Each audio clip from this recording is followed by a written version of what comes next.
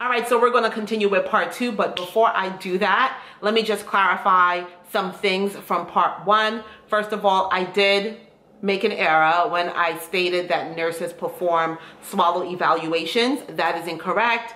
As nurses working in the ICU, working in the emergency room, we can perform a swallow screen far different than a swallow eval.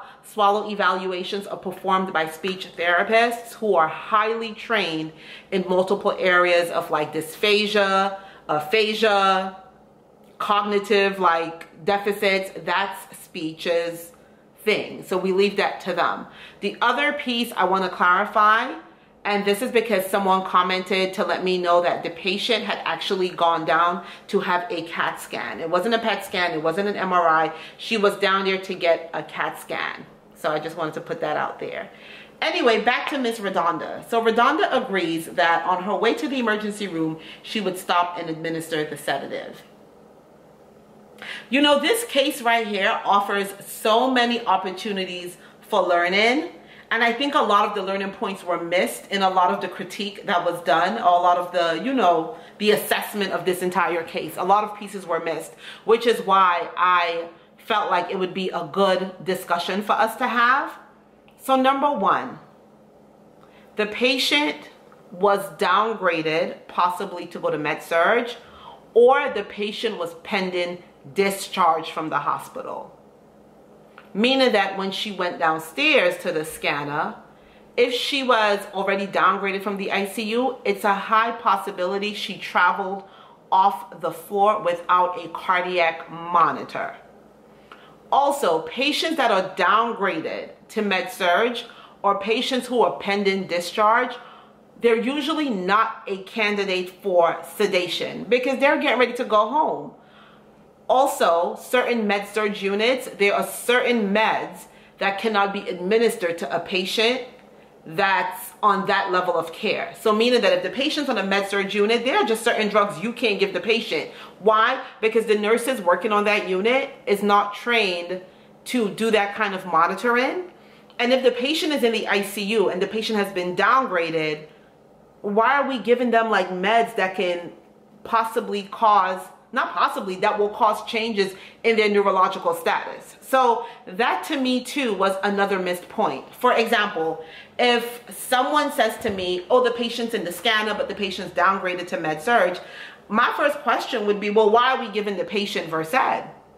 You know, why not a PO Ativan? Like, why not something PO by mouth? Why are we giving IV sedation to a patient who's downgraded for a CAT scan that's not an emergency? That would be the first thought coming to my mind, but I also have to remember that in comparison to Radonda, Radonda became a nurse in 2015, and I believe this incident took place in 2017. So Radonda had been a nurse for two years.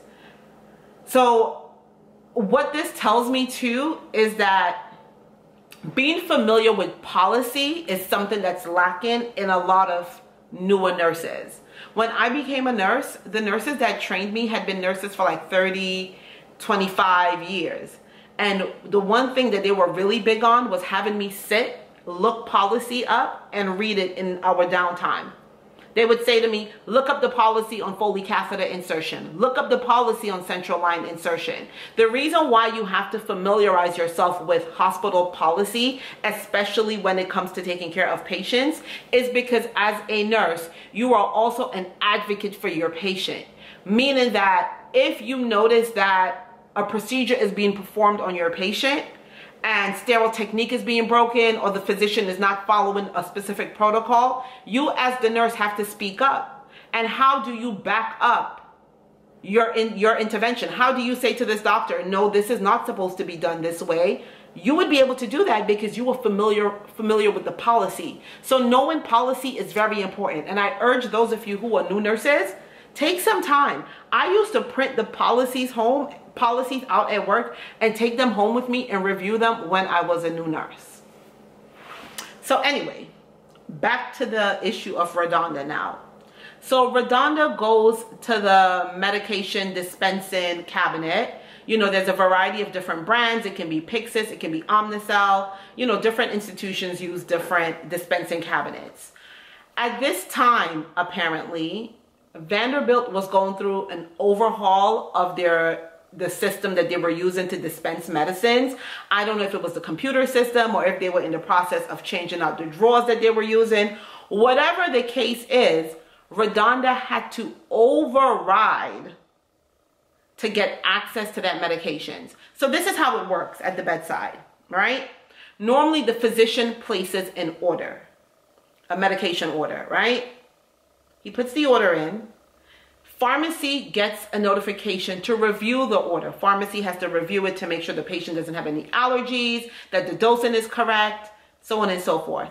Once pharmacy approves it, it is now available for you to pull it from the medication dispensing system. If that medication is not stocked in the medication dispensing system, we usually have to request it from pharmacy and wait for pharmacy to either deliver it by hand or send it through a tube station. In this case, the sedative that was being used is called Versed. That's the trade name, Versed, but the generic name is Midazolam. And usually that is stored on the floor in the medication dispensing bin. We do not have to wait for pharmacy to send it up unless it's coming in the form of a drip, like it's in an IV bag that we actually have to hang and infuse. But Radonda was pulling the vial of Versed. So that would be stocked in the medication dispensing um, bin. So I don't know the conversation that Radonda had with this nurse, whether it was a situation of, oh no, it's okay, I'll pull the med, or whether the nurse off offered to pull the med. Radonda was like, no, it's okay, I can pull it. Let me show the student how to do it. I don't know what took place because Radonda was the one who ended up pulling the medication. When Radonda went to pull that medicine, I don't know if the medication had been approved by pharmacy. I don't even know if Radonda accessed the computer system to see the order with her own eyes that yes, the physician ordered you know, five, four of Versed or two milligrams of Versed. I don't know if she said to that primary nurse, okay, I can give it, but let me look at the order in the computer so that I can make sure that I eyeball the order and that I see that it's written and I can determine whether or not pharmacy has already approved it, making it available for me to pull from the machine. I don't know what took place. All I know is that Radonda went to the medication dispensing cabinet and what happens a lot of times is that some drugs we have to override it because it's not yet populated to that patient's chart or because it's considered a drug that can be used in an emergency, you have to like override it. So that's what Radonda did. She went ahead and she overrode the drug.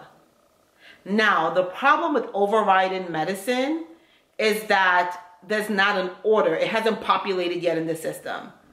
The second thing with overriding medication in this case was that Vanderbilt's medication dispensing bin, and I'm sorry if I'm all over the place, but I'm trying to gather my thoughts. But anyway, the medication dispensing bin only required the nurses to punch in the first two letters of the drug's name.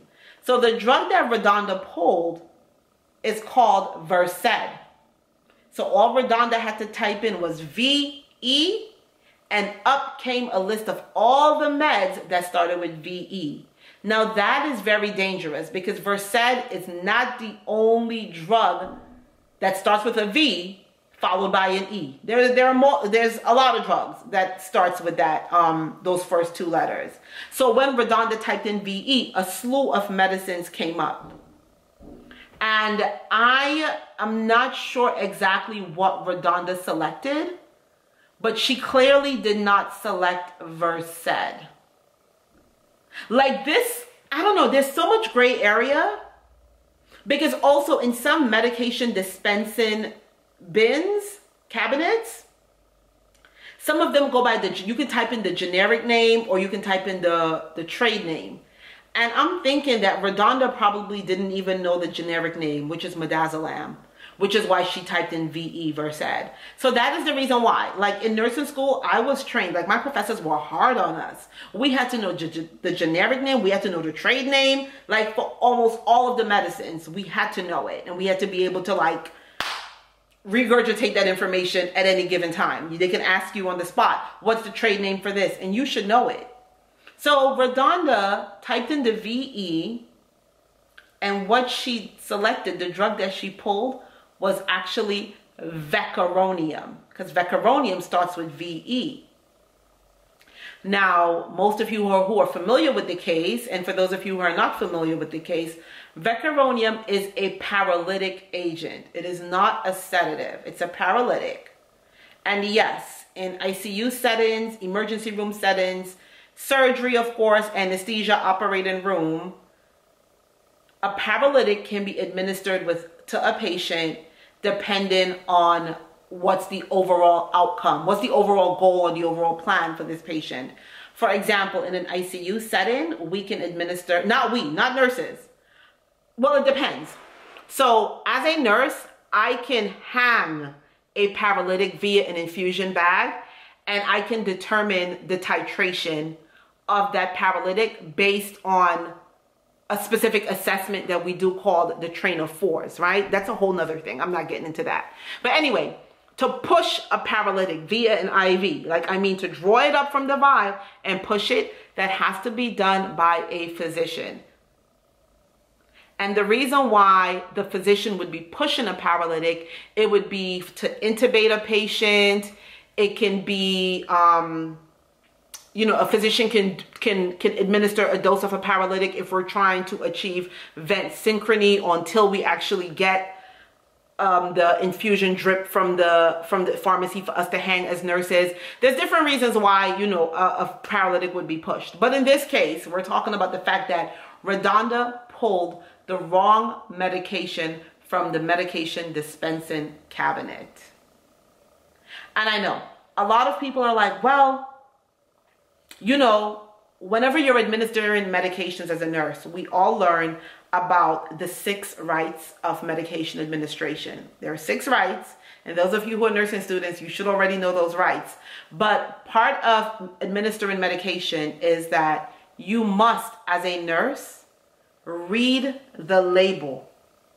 You must look at the label, read it to ensure that you're pulling the correct medication, that the dose on the medication that you're pulling is correct, and that you have the right form.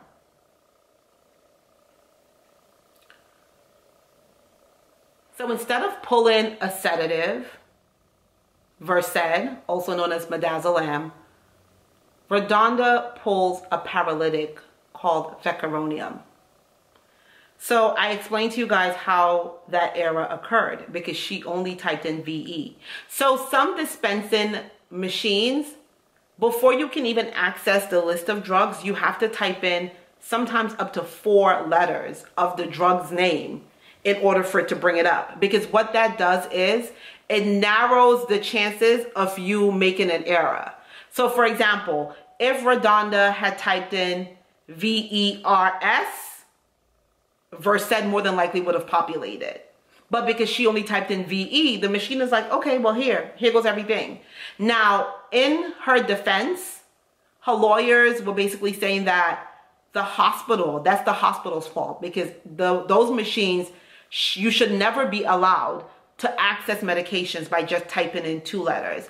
And I agree with that. But the one thing about being a nurse and the one thing that they drive home in nursing school, and those of you who are nurses, you, you know this, is that it doesn't matter what the machine does. It doesn't matter what the pharmacist said. It doesn't matter if Jesus Christ is sitting in the room and tell you to administer that drug. Ultimately, you as the nurse, you are responsible for any drug you administer to a patient.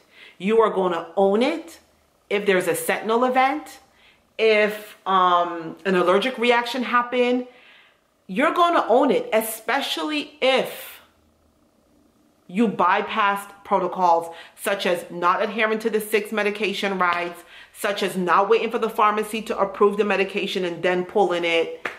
Like nurses, you just have to be really careful, okay? You just have to be really careful with any drug, okay? Because you can give Tylenol and someone could have an adverse reaction to that. Let me just say that.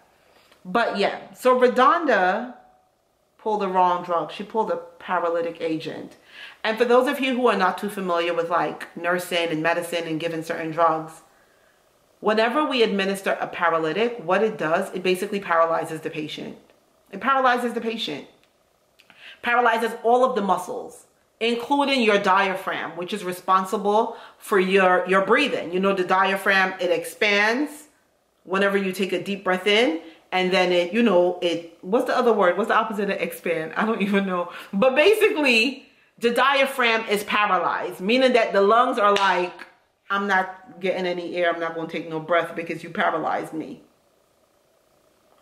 Before we paralyze a patient,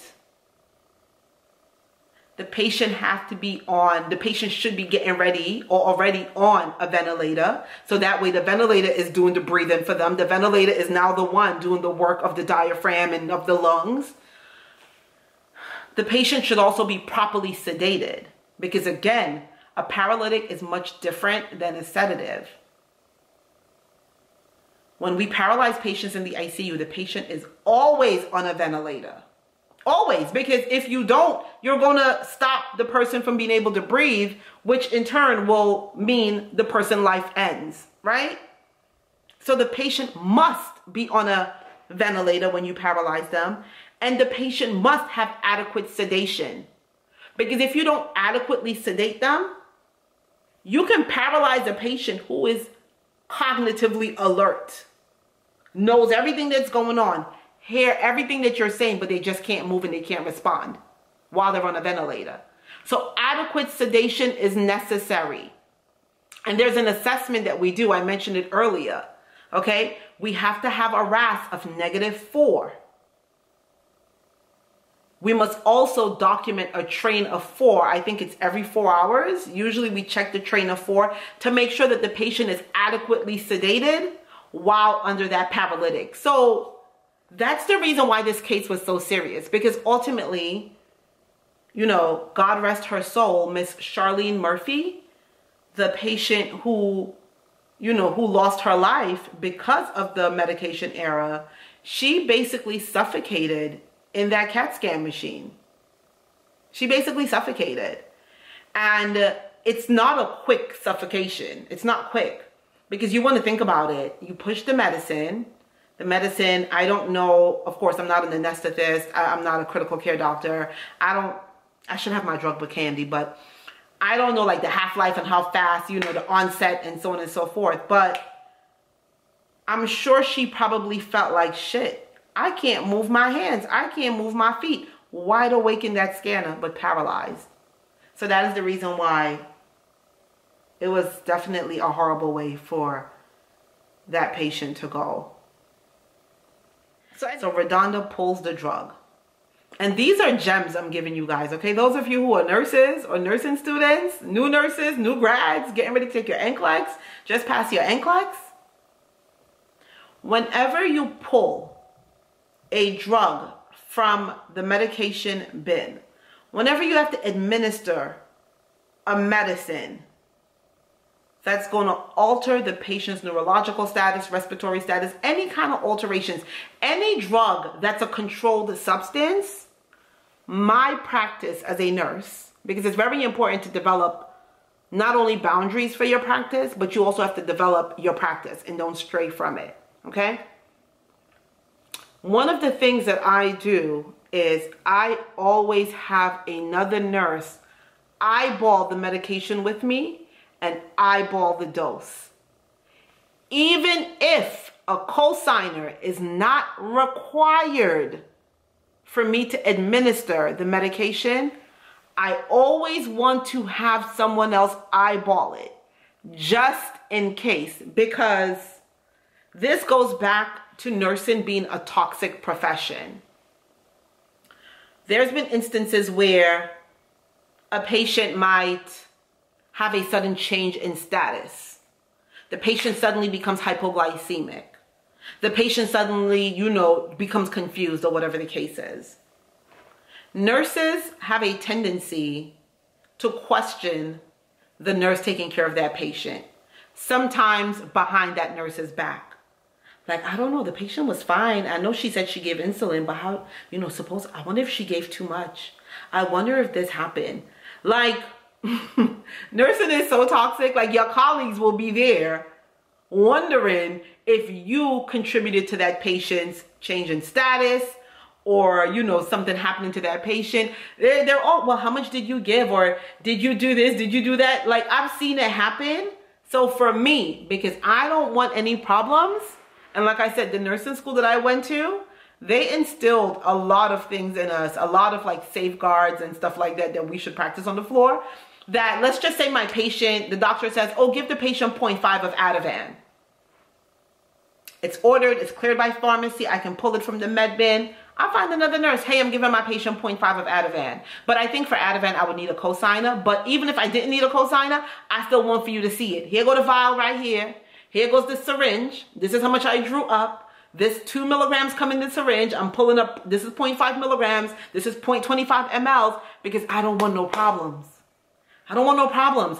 I want for if in case something were to happen to that patient, I want for someone to be able to say, no, she pulled up the right dose because y'all are not going to get me jammed up. Y'all not going to get me jammed up questioning whether or not I pulled the right dose or the what, how much I gave the patient. Nah, I don't play those games. Not at all. I've seen too much. I've worked in healthcare since 2005. Before I decided to go to nursing school, I was a nursing assistant. I worked in a hospital specifically just so I can see if I can tolerate working in a hospital. I've seen a lot of things.